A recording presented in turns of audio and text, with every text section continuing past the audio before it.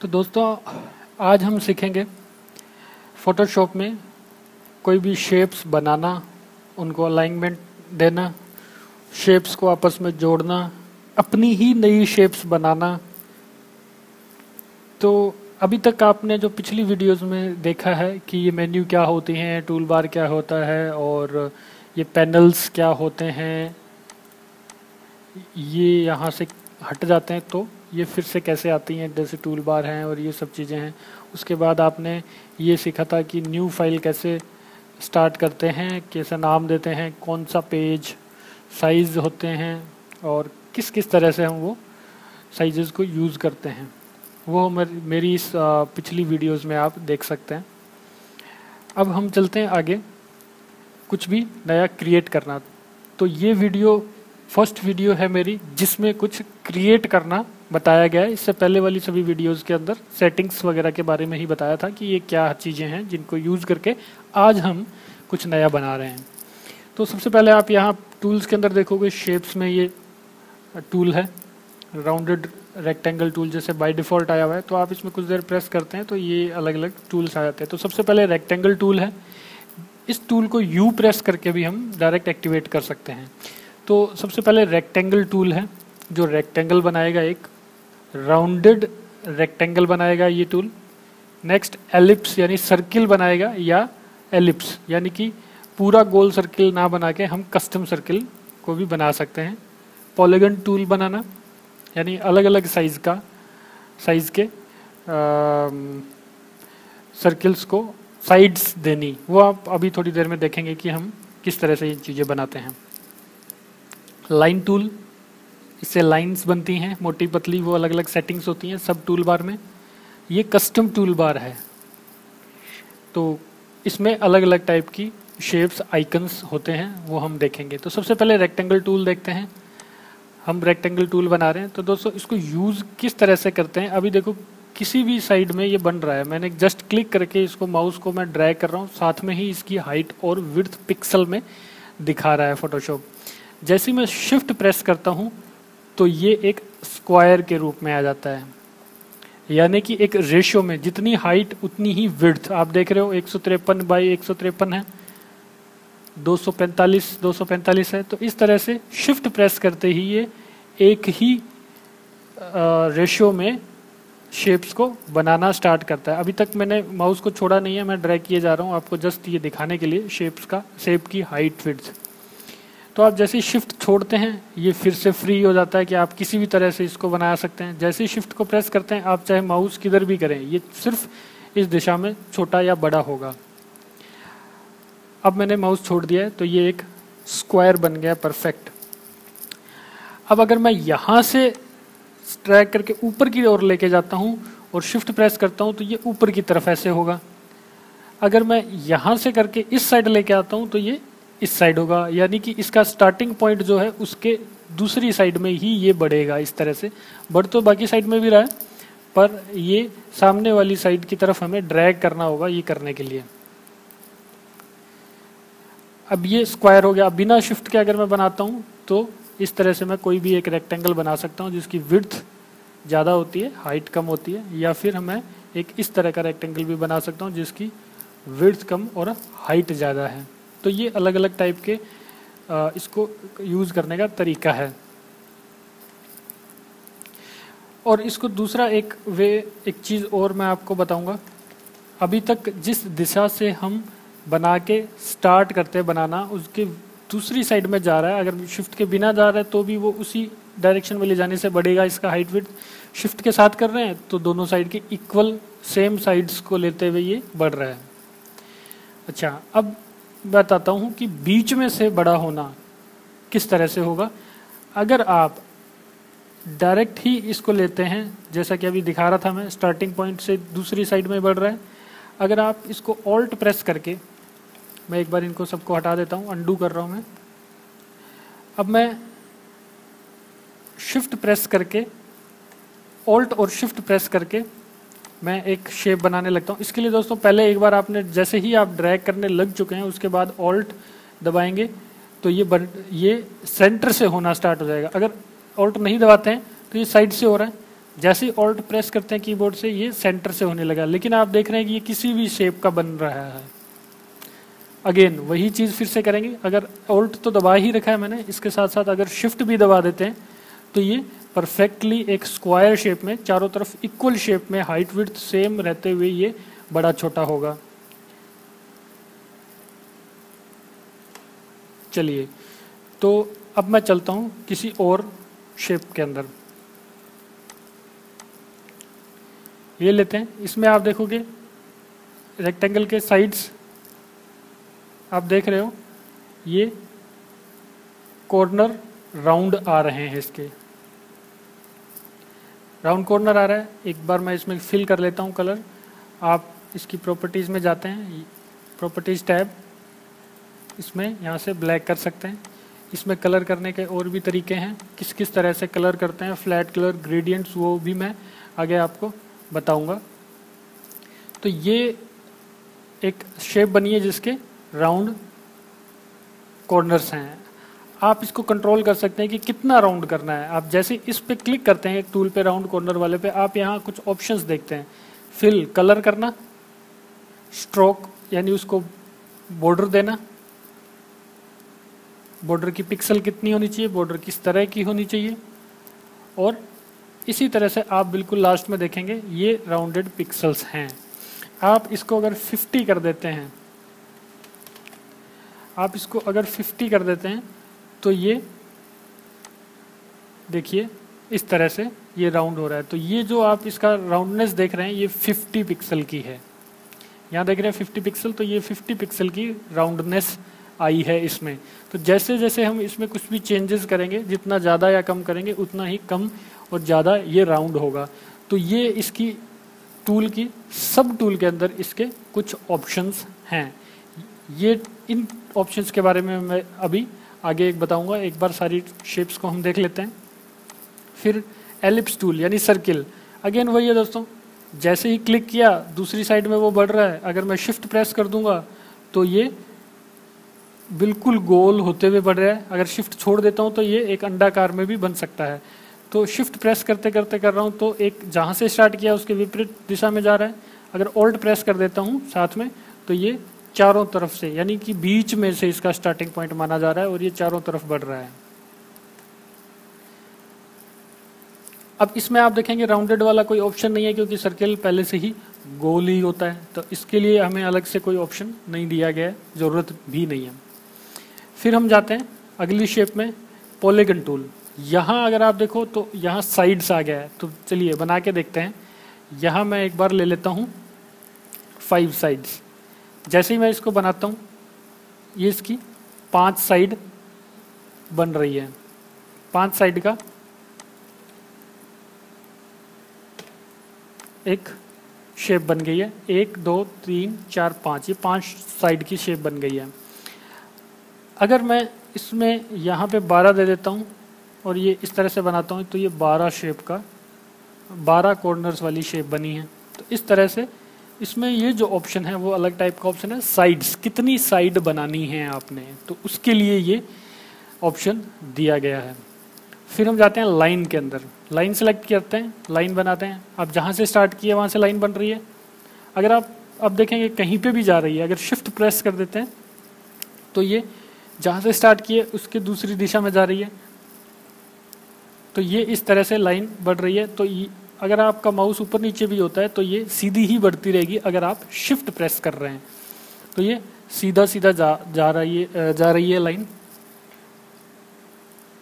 देखिए जैसे ही मैं छोड़ता हूँ, ये इस तरह से बन जाता है। आपने पहले छोड़ना है माउस को। अगर आप शिफ्ट पहले छोड़ देते हैं और आपका माउस ऊपर कहीं घूम रहा है तो शिफ्ट जैसे ही छोड़ते हैं, फिर आप ये छोड़ो तो वो वहाँ चले जाएगा। यानी कि आपने पहले माउस छोड़ना है, फिर शिफ्ट को छोड़ना है, क्योंकि शिफ्ट जो है वो इस लाइन को सीधी ही रख रहा है। तो छोड़ने से पहले शिफ्ट नहीं छोड़ना है। पहले माउस को छोड़ेंगे, फिर आप शिफ्ट को छोड़ेंगे। तो इस तरह से हमारी ये शेप्स हुई हैं। एक लास्ट शेप है। दोस्तों, ये बड़ी इंटरेस्टिंग शेप है। पहले मैं सारी शेप्स को यहाँ मूव टूल से इस तरह से सेलेक्ट करता हूँ और डिलीट कर देता हूँ। अब इस कस्टम शेप्स के अंदर अगर आप जाएँ तो आपको कुछ शेप्स दिखाई देगी। ये मेरे पास मैंने अलग से बाद में इंटरनेट से कहीं ना कहीं से इधर उधर से कुछ और शेप्स डाउनलोड करके यहाँ डाल दी हैं फोटोशॉप में। बट आपके पास जैसे आप फोटोशॉप इंस्टॉल करते हो तो आपके पास कुछ बाई डिफ़ॉल्ट शेप्स आती हैं, जो स्टार्टिंग वाली आप देख रहे हैं। कुछ यहाँ तक शेप्स होती हैं, जो आती हैं फोटोशॉप के अंदर पहले से ही। अब आप सोचेंगे कि इतनी सारी शेप्स कहाँ से आई? मैंने जैसे बताया इंटरनेट की काफ़ी सारी वेबसाइट्स होती हैं इंटरनेट पे। वहाँ से थोड़ा रिसर्च करना पड़ता है, ढूंढनी पड़ती है शेप्स कुछ वेबसाइट्स हैं जो शेप्स देती हैं डाउनलोड करने के लिए। पर मैं आपको इस वीडियो के डिस्क्रिप्शन में एक लिंक दूँगा। उस, मेरा ब्लॉग का लिंक है। उस ब्लॉग पे जाके आप, वहाँ एक लिंक मिलेगा आपको। इस पोस्ट की वीडियो भी अगेन वहाँ मिलेगी। तो इस पोस्ट से रिलेटेड सभी फाइल्स आपको वहाँ से मिलेगी। आप डाउनलोड कर सकते हैं दोस्तों। और मेरा वो ब्लॉग भी ज़रूर लाइक कीजिएगा सब्सक्राइब कीजिएगा। चलिए तो यहाँ शेप्स के बारे में बात चल रही है तो यहाँ बहुत सारी शेप्स हैं। हम कोई भी शेप उठा लेते हैं, जैसे ये फोल्डर की शेप है। ये भी उन्हीं तरह से सर्किल और रेक्टेंगल की तरह ही वर्क करेगी। शिफ्ट के साथ करने पे ये रेशियो में बड़ी होगी। यहाँ दोस्तों, हमें शिफ्ट के साथ ही करना पड़ेगा, नहीं करेंगे तो ये शेप्स ऐसी हो जाएँगी। या ऐसी हो जाएँगी। फोल्डर का निशान कभी भी ऐसा भी नहीं होता ऐसा भी इस तरह से भी नहीं होता है तो वो खिंचे खिंचे हुए से लगेंगे। अब ये खिंचे हुए इसलिए लग रहे हैं क्योंकि ये शेप्स हैं इनको हम रो, रोज़ाना देखते आए हैं और वो अगर कम विड्थ की हो जाती है हाइट ज़्यादा है रेशियो में नहीं है अनुपात में नहीं है तो वो खिंची हुई सी दिखाई देती हैं। तो दोस्तों इस तरह से हम ये शेप्स बनाते हैं बनी बनाई शेप्स हैं जिनको यूज़ करते हैं। चलिए, अब आगे चलते हैं कि कोई भी कस्टम शेप्स जो होती हैं, उनको खुद बनाना, कि खुद उसको किस तरह से बनाई जाती है। चलिए, इससे पहले मैं एक बार आपको थोड़ा सा और चीज़ें बताता हूँ। वो हम थोड़ा इंटरेस्टिंग पार्ट है, वो कुछ हम कैरेक्टर बना के देखेंगे एक अच्छा सा। तो वो एक साथ लास्ट में करेंगे हम। तो उससे पहले थोड़ा सा मैं आपको शेप्स की अलाइनमेंट्स के बारे में भी बता देता हूँ, और आपको दो शेप्स को आपस में जोड़ के एक ही लेयर में लेके आना, कैसे करते हैं, वो भी बताता हूँ। एक शेप को दूसरी शेप के अंदर डाल देना, वो भी बताता हूँ। इसके लिए आप F7 प्रेस करके लेयर्स मेन्यू लेके आएँगे, या यहाँ से डायरेक्ट लेयर पे जाते हैं, क्योंकि यहाँ अभी आपको ज़रूरत पड़ेगी। यहाँ वही चीज़ें दिखाई देती हैं, जो भी आप यहाँ बना रहे हो, वो हर एक चीज़ अलग से लेयर बन के आ जाती है। चलिए देखते हैं किस तरह से होता है ये। ये हमने एक सर्किल बनाया है। चलिए, अब हम लेयर में जाते हैं। मैं इसको लेयर को ड्रैग ड्रॉप कर लेता हूँ यहाँ पे।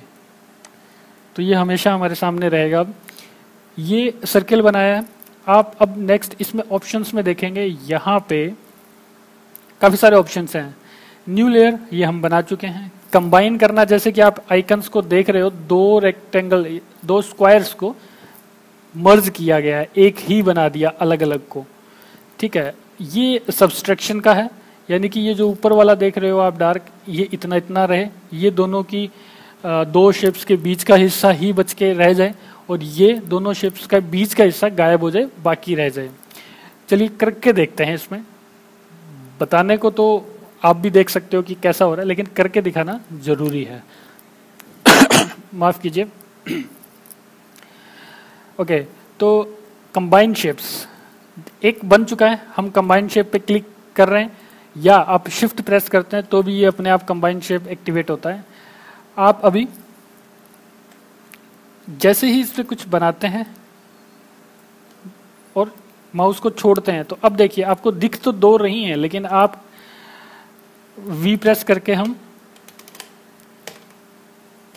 वी प्रेस करके हम मूव टूल में आ गए अब इसको मूव करके देख रहे हैं इधर उधर। ये देखिए, एक सर्किल को मूव कर रहा हूँ तो दूसरी भी साथ में मूव हो रही है शेप तो दोनों शेप्स दो शेप्स होते हुए भी ये एक ही लेयर में ये देखिए दोस्तों। ये एक ही लेयर के अंदर है। ये आई का जो सिंबल है, इसको हटाने से ये दिखनी बंद हो जाती है लेयर आने से। यानी ये देखने के भी काम आता है कि ये कौन सी लेयर है। ठीक है तो यहाँ पे ये मर्ज की हुई लेयर है। ये एक ही लेयर में आ गई है। अब अगर आपने दो अलग अलग बना लिए थे और बाद में उनको एक करना था तो ये टूल जो है, वो यहाँ एग्जैक्टली exactly काम नहीं आएगा। यहाँ हम जैसे कि एक शेप बना लेते हैं, फिर हम दूसरी शेप बना लेते हैं। इस बार मैंने शिफ्ट प्रेस नहीं किया था, या वो टूल सेलेक्ट नहीं किया था जिससे कि ये मर्ज हो जाए। ये दोनों अलग अलग हैं। आप यहाँ देखिए, ये दोनों लेयर्स अलग अलग हैं। जैसे मैं इस पर क्लिक करता हूँ, इसका दिखा रहा है ये, इस पर क्लिक करता हूँ तो ये सेलेक्ट हो गई है। तो ये दो लेयर्स हैं अलग अलग चलिए इनको एक बनाया जाए। इसको सेलेक्ट कीजिए शिफ्ट प्रेस करके इसको भी क्लिक कीजिए तो दोनों लेयर सेलेक्ट हो जाती हैं। यहाँ देख सकते हैं, दोनों सेलेक्ट हो गई हैं। अब मैं कंट्रोल ई e प्रेस करता हूँ। कंट्रोल ई e प्रेस करते ही ये शेप एक बन गई है, देखिए। चलिए, एक बना दी, दोनों तरीकों से एक बना दी। अब अगर हमें ये देखना है कि बाद में हमारे दिमाग में आया कि इसको थोड़ा सा बड़ा करना था, या इधर उधर करना था, या इधर उधर खिसकाना था, कुछ भी तो क्या किया जाए? तो हम ए प्रेस करेंगे। ए दोस्तों प्रेस किया शॉर्टकट के लिए। ये टूल जो होता है, वो एक्टिवेट होता है। हमने ये ब्लैक वाला नहीं करना वाइट वाला सेलेक्ट करना है।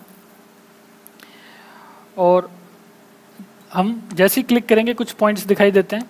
आप एक पॉइंट पे क्लिक कीजिए, दूसरे पॉइंट पे क्लिक कीजिए शिफ्ट प्रेस करते हुए, क्योंकि एक बार में एक ही होगा। अगर मैं शिफ्ट प्रेस नहीं करता हूँ तो एक बार ये हुआ है, दूसरी बार में ये हुआ है, वो हट गया है। तो यानी मैं शिफ्ट प्रेस करके इसको सेलेक्ट करता हूँ। सिर्फ़ इसी वाले सर्किल की चारों साइड्स को। अब मैं इसको कीबोर्ड के एरो की से इधर उधर भी कर सकता हूँ। शिफ्ट के साथ एरो दबाते हैं तो वो जल्दी जल्दी होता है, अकेली एरो से धीरे धीरे होता है। तो ये थोड़े से कुछ टिप्स हैं। जैसे ही हम इसको मैं यहाँ लेके आता हूँ तो अगर मैं कंट्रोल टी प्रेस करता हूँ तो कंट्रोल टी से क्या होता है? शेप्स को बड़ा छोटा किया जा सकता है। ये भी शेप्स के से रिलेटेड ही ट्यूटोरियल है। तो ये शेप इस तरह से सेलेक्ट हो जाती है।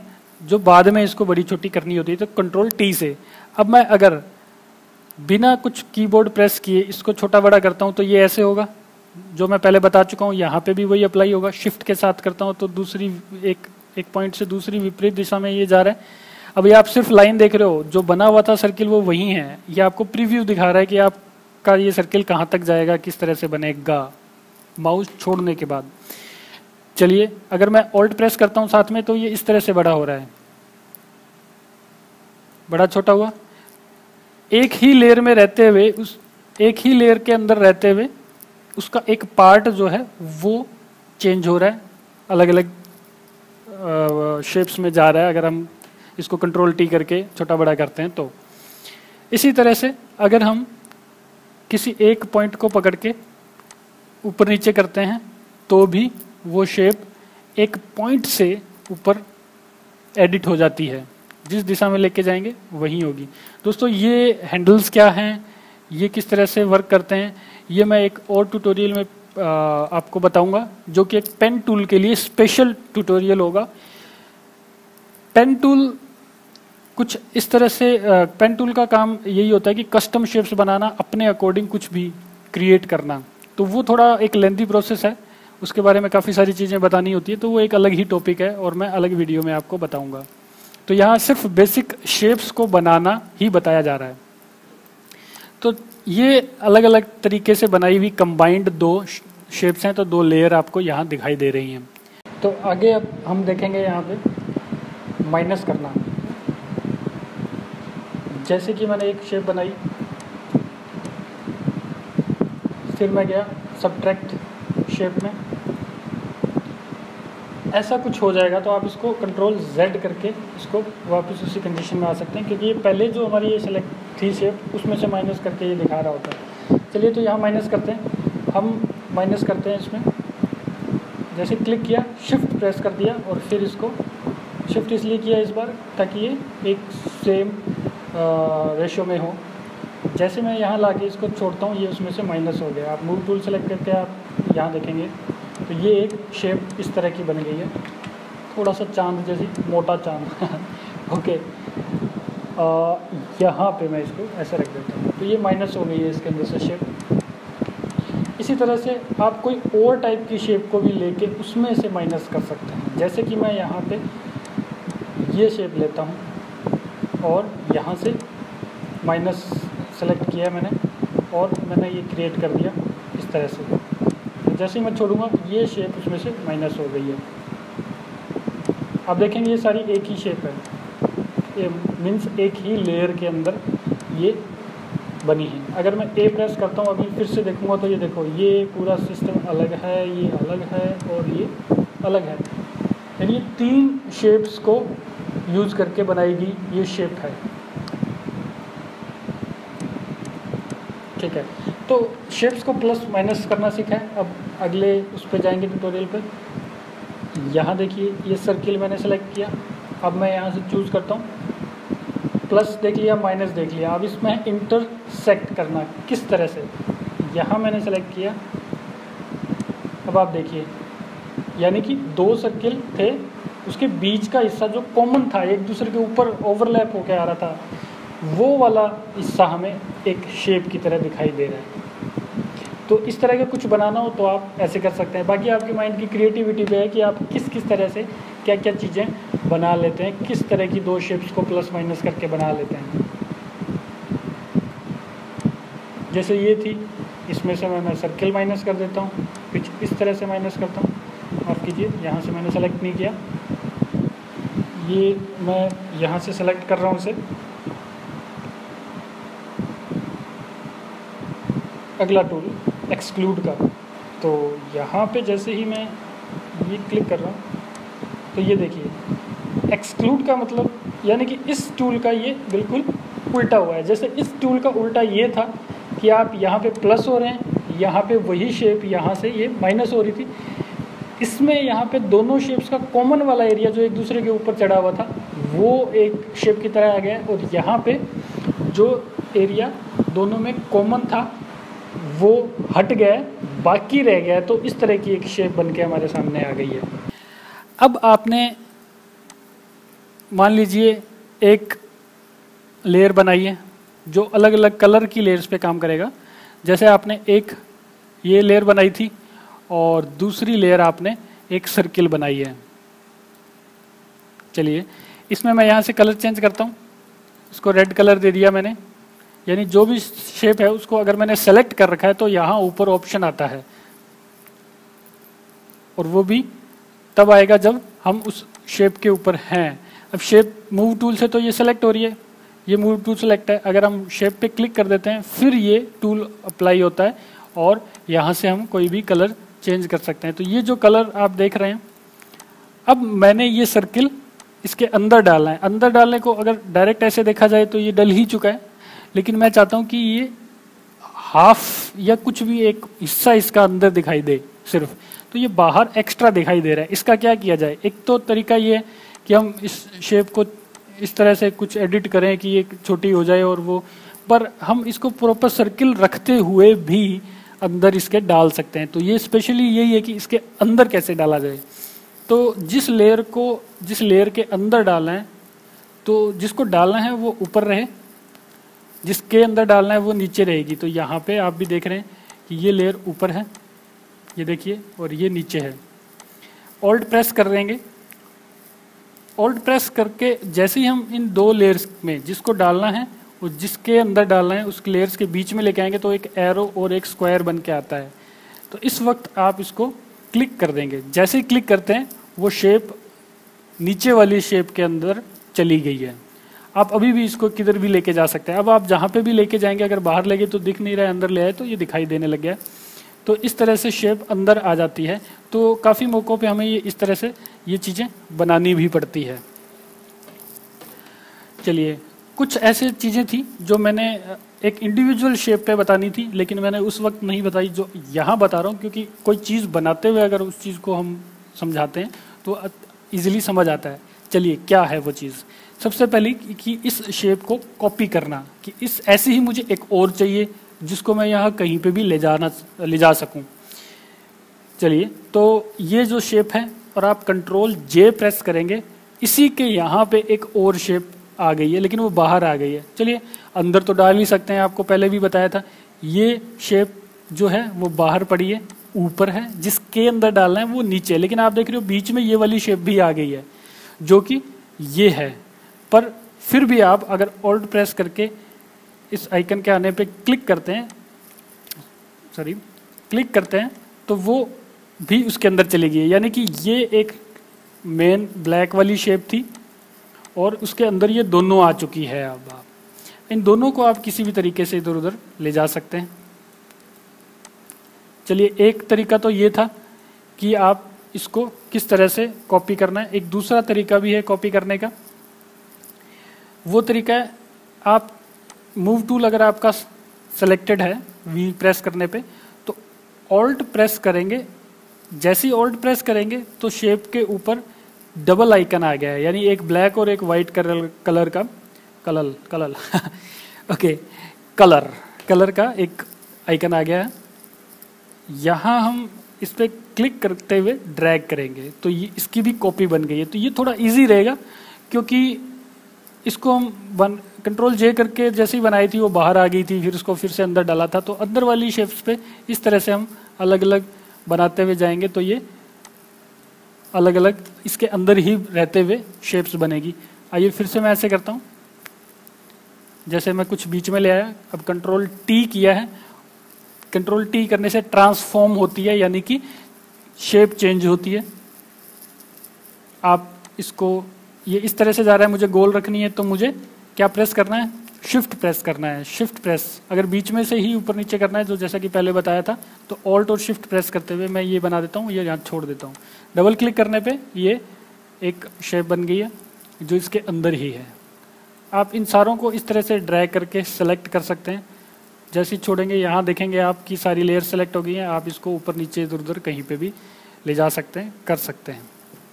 चलिए तो ये दो चार चीज़ें हैं, जो देखने में अच्छी नहीं लग रही है, क्योंकि ये कोई शेप्स कुछ बनी नहीं है। हाँ इसमें कुछ कलर आ गया तो कह सकते हैं कि कुछ बना है।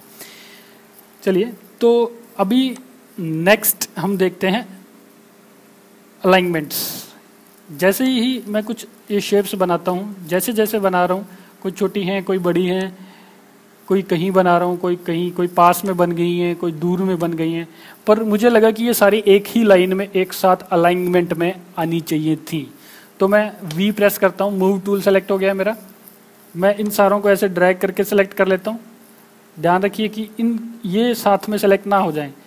आपको ये ज़रूरी नहीं है कि पूरा एरिया सामने आएगा, पूरा अंदर आएगा इसके तो ही ये सेलेक्ट होगी।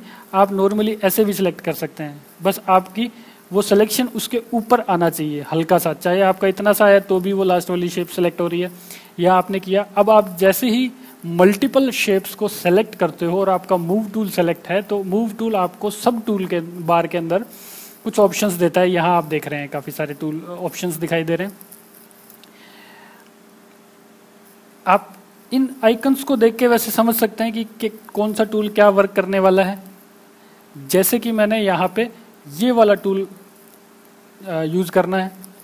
अलग अलग शेप्स हैं। उनको सेंटर में एक साथ एक तरह से अलाइन करना है। जैसे ही मैं इस पर क्लिक करता हूँ, ये एक साथ सेंट्रलाइज हो गई हैं।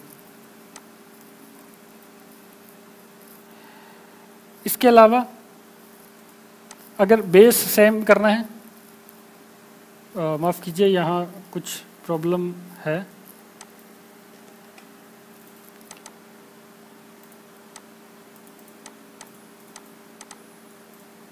अच्छा ये शेप्स मेरे शिफ्ट करने के कारण एक बन गई थी, जो एक प्रॉब्लम कर रही है यहाँ पे।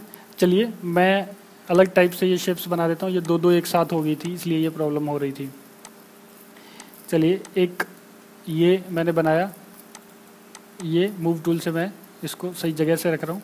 इसको ऑल्ट प्रेस करके मैं एक कॉपी बनाई ऊपर नीचे अलग अलग जगह रख रहा हूँ, कोई दूर और पास में रख रहा हूँ, ताकि आपको समझ आए। चलिए, अब मैं इनको सेलेक्ट करता हूँ इस तरह से। ये सारी सेलेक्ट हो गई हैं। अब ये वाला टूल जैसे ही मैंने क्लिक किया ये सारी एक साथ एक अलाइनमेंट में आ गई हैं। अब जैसा कि ये वाला टूल आपको बता रहा है कि यहाँ पे एक वर्टिकली बेस वाइज एक साइज़ में एक अलाइनमेंट में ये शेप्स आ गई हैं। पर इनका बीच का स्पेस का क्या है? बीच का स्पेस जैसे यहाँ ज़्यादा है। ये तो ये कम है यहाँ थोड़ा सा ज़्यादा है। इन सारों को एक इक्वल शेप में करना है तो क्या करें? तो आप देखेंगे ये ऑप्शन है यहाँ पे हमारे पास। शेप को सेंट्रली हॉरिजॉन्टली सेंटर में करना, एक दूसरे की गैप इक्वल करना जैसे मान लेते हैं ये अलग शेप है, ये अलग शेप है। जैसे मैं इस पर क्लिक करता हूँ, ये आपस में प्रॉपर एक प्रॉपर एक सेम गैप गैप के साथ सही हो गई हैं। चलिए, अब अगर मैं इसको, कोई कोई शेप्स हैं हमारी, कोई छोटी हैं, कोई बड़ी हैं तो क्या हो?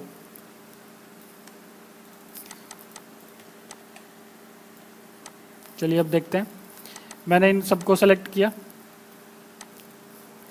जैसे मैं इसको प्रेस करता हूँ, देखिए, ये सारी एक अलाइनमेंट में आ गई हैं। अगर मैं यहाँ क्लिक करता हूँ तो ये इक्वल हो गई हैं प्रॉपर शेप्स के साथ में। ये हमारी सेलेक्ट नहीं थी।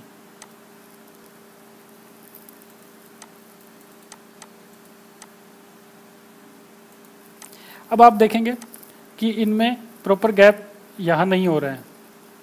ये इसलिए नहीं हो रहा है क्योंकि ये एक सेंटर से इसको लेके चल रहा है। और ये शेप्स जो दिखाई दे रही हैं, ये अलग अलग साइज़ की हैं। विड्थ इनकी अलग अलग है।